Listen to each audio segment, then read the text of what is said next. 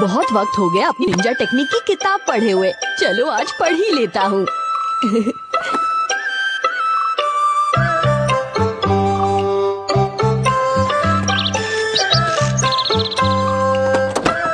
मैं आ गया। तुम आ गए क्या नीची? तो अच्छा रहा। हथौड़ी ऊपर है क्या?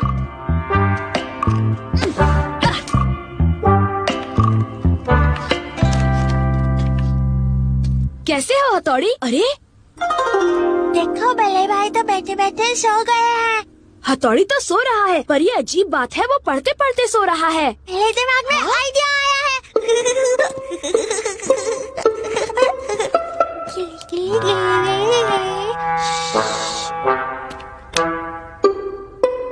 स्क्रिबलिंग निंजा टेक्निक अब आएगा मज़ा। शिंजो तुम क्या करने जा हो तो चीज़ें मैं भी करूँगा शिशिमानो रुको चलो मत के नीचे आ जाओ तुम भी अपना हाथ साफ़ कर लो